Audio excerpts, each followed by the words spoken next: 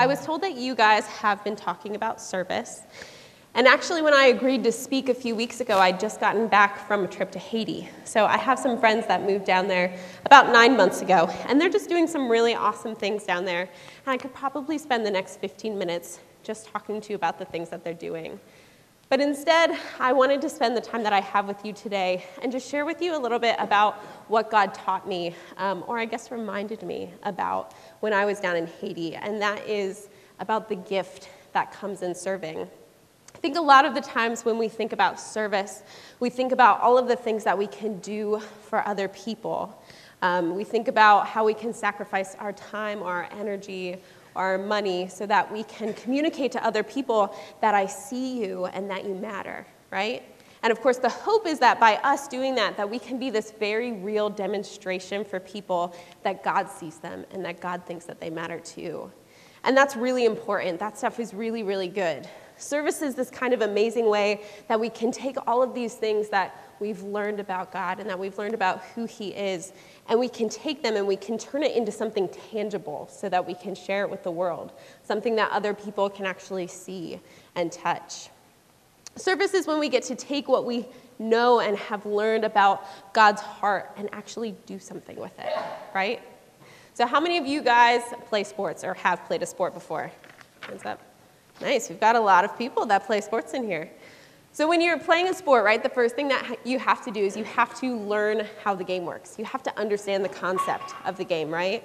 And then you go to practice and you go over the same drills and plays over and over and over and over again, right? Until it just kind of becomes something that you can do naturally. It just becomes part of who you are as a player.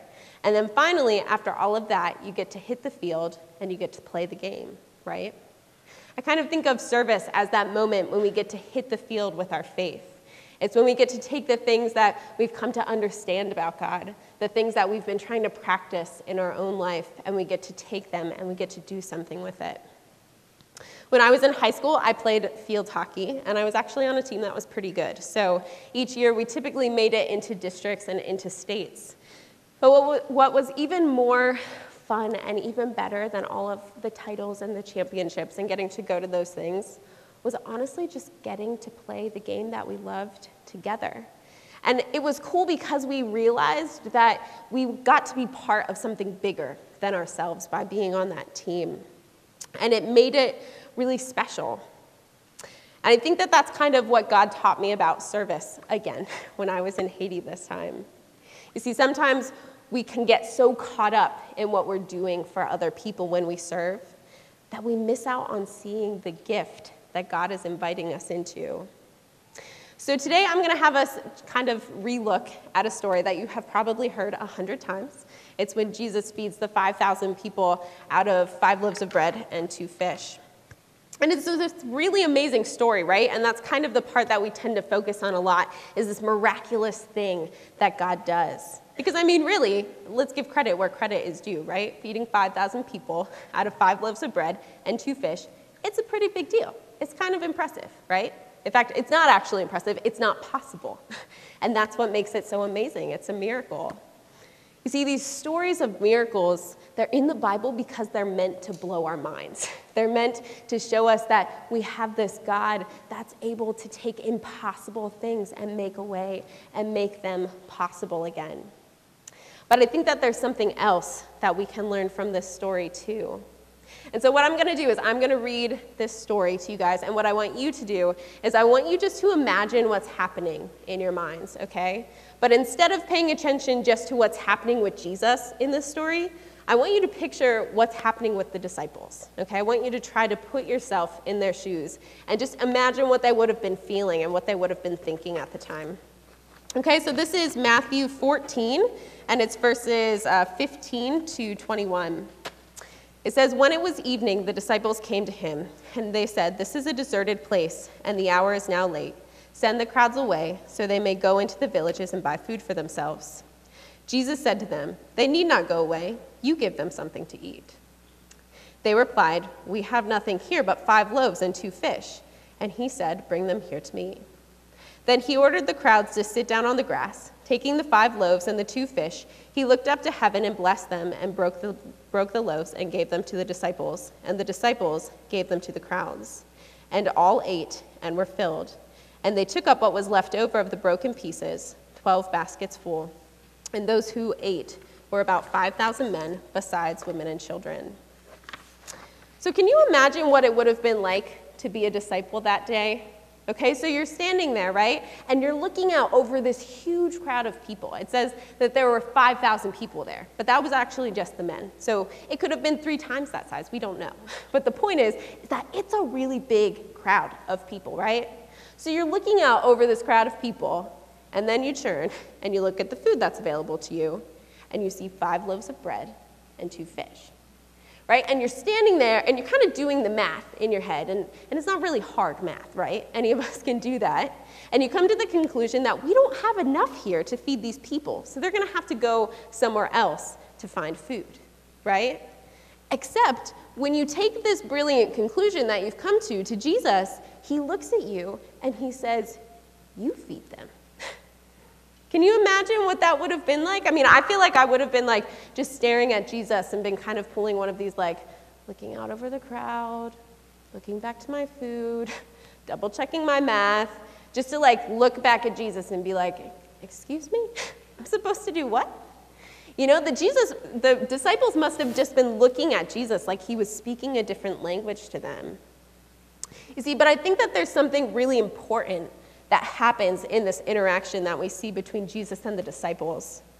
Because the disciples have taken note of the impossibility of the situation that's before them, right? And they've brought it to Jesus' attention. And instead of just taking over and telling the disciples to step aside, instead, Jesus makes a way for the impossible to become possible. And then he literally puts it right back into their hands. It specifically says that Jesus gave the loaves and the fishes to the disciples, and the disciples went and they passed out the bread to the people. And can you imagine what it would have been like? Jesus gives you this half a loaf of bread, okay? And he puts it in your basket, and you're going, and he says, Go feed all of those people, okay? A little bit overwhelming. But you're going, and you're passing out bread, and you're passing out bread, and you're passing out bread, and you're passing out bread, and somehow the bread just keeps going. right? Until you finally find that all of the people have been fed. And you make your way back up to Jesus, and there's still food left in your basket. I mean, that would have been really amazing, right? But why do you think that he did that? Why do you think Jesus specifically gave the food to the disciples to pass out to the people? You see, I think it's because Jesus didn't just want the disciples to know about him. He didn't even just want them to see what he was capable of doing. Jesus wanted the disciples to experience what Jesus could do in the world. You see, I don't think that God made us just to know things about him. He didn't make us just so that we could talk about him. He wants us to carry his mission into the world. And service, it's our opportunity not just to take that mission into the world, but we get to see it come to life. And we get to see that come to life for other people, but we also get to see it come to life right before our very eyes. It's the chance that we get to see things happen in the world that other people don't get to see. You see, the disciples, they demonstrated service that day, right, by feeding this huge crowd of people and taking care of them. And they met these people's needs, Uh, these people's needs on God's behalf, and they were a gift to those people that day because of it. But at the very same time that they were being a gift to other people, they were also receiving a gift because they had the opportunity to see firsthand that God was making a difference in the world. And they got to share in this one of a kind of experience with Him. You see, God has this mission, right, to bring restoration into the world. And we see that mission echoed throughout all of the stories of the Bible. And so in Genesis, we watch as this perfect world that God created gets broken, right? And the people in God's world gets broken too. And from that moment on, from Genesis on, God sets off on this mission to rescue his people. And it's that theme that ties together the story of Abraham to the story of Moses, to the story of King David, to the story of Jesus, to the story of the disciples, to the story of me and you today. That theme of God coming to rescue and restore the world is what gives all of those stories a cohesive meaning. And what's really cool is that God has chosen to work alongside people to bring that mission into the world since the beginning. And his calling for us to serve other people, it's our opportunity to be part of that mission. And just like every other Bible character that came before us, other than Jesus, right? We'll make mistakes as we try to carry that mission out. So Abraham lied, Moses was a murderer, David committed adultery, I mean, Peter denied even knowing Jesus, right? But Abraham also left everything that he had to follow God, and he brought his family with him. And Moses led this entire nation out of slavery so that they could worship God. And David became one of Israel's greatest kings. And Peter became this really awesome leader for the church. You see, God used these people in their imperfect service to be part of his mission to restore the world. Not because they were perfect, but because they were willing to step into what he was doing. And as a result, they got to experience God in really special ways. They got to see things that no one else got to see, and they got to be part of something that was bigger than themselves. Now, I'm not saying that when we serve other people, we should be doing it so that we can feel good about ourselves or feel like we're part of something important. But what I am suggesting is that when we're serving, we should keep our eyes open as we're doing it. Because when within our service to other people, God also is offering us a gift. He allows us to see Him work in really special ways Imagine what the disciples would have said about Jesus after that day. Can you imagine how your world would have been rocked? Can you imagine all of those things in your life that maybe didn't seem possible suddenly seemed a little bit more real? Can you imagine what they would have thought about God? God probably never seemed bigger to them that day. See, God allows us to see Him working in the world, and it changes us, and it reminds us how big God is and how awesome it is that we get to be part of what He's doing. You see, it's these things that God reminded me on my trip when I was in Haiti. So, when I went down to Haiti, I had the opportunity to go down with my friends and just go to the places that they serve throughout the week. And so, we spent a few days in some orphanages, and we spent two days in a clinic for malnourished kids, and then we just taught English with um, some college age kids. And you know, we really didn't do anything earth shattering in our time there. While we were at the orphanage, we sang songs with kids and we wiped noses and we hugged them until they didn't want to be hugged anymore and we told them that they were special and we let them do crazy things with our hair so that we looked ridiculous by the time we left. And when we were at the clinic, all we did is we changed diapers, certainly not a glamorous thing to do, and we fed babies bottles and we changed bedding. And we just held these babies while they were burning up from fevers, and we just tried to pray over them because that's all we could really do to help. And when we were teaching college age kids English, they actually already knew English pretty well, so I'm not entirely sure why we were there. But we just let them practice by asking them questions about who they are and what their life has been like, and by trying to share those things openly about our lives as well. And we just tried to learn their names and be encouraging to them. You see, we didn't feed any masses that any of those days with miraculous bread, but we did get to step into what God was doing in the world. And it was special, and it mattered. And it didn't just matter to the people that we were serving, it mattered to us. Because even though we didn't see anything miraculous, we did get to see God doing special things in the world. And we got to see the world being restored one smile one well fed baby, one handshake at a time. And that was a gift for my soul. You know, that was just something that satisfied me and reminded me how awesome my God is and reminded me how cool it is that I get to spend my life being part of this restoration mission that God has for the world. So when I got back from Haiti, my friend Courtney, um, who I was visiting, she posted this on her blog. I wanted to share it with you guys. She says, Love makes me hold fast. I hold fast to the sick, malnourished babies I hold each weekend at the clinic. I hold fast to the reality that when I don't feel adequate or ready to teach English, I can be used to help equip my students with something that can help them find a job. I hold fast to what I feel God preparing me to do in one orphanage in Liaison, and I hold fast to the hope that Jesus will act and come forth for the children in the other orphanage I've been involved with. I hold fast to all the beautiful relationships God has formed for me here, for the mom that now lives with me, for a motorcycle driver that now comes to church with me, for students that challenge me, and for children that bless and change me, and for friends who I find deep encouragement and gladness in. When I remember everything God has done and keeps doing, even the most hopeless and unlikely of situations become something that I can trust God to restore.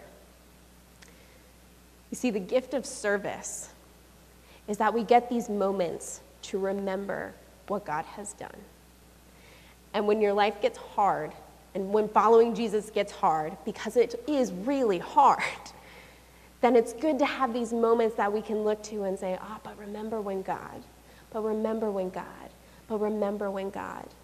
Because it's those moments, it's those gifts of those moments that give us the courage to believe that God really can take what is impossible and make a way.